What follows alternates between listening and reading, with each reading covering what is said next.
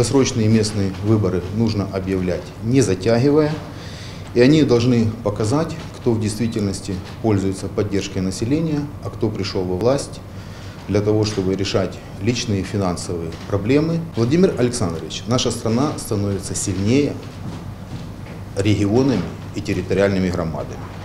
Любовь к Украине начинается с собственного дома, села и города. При этом я подписываю это заявление и направляю его.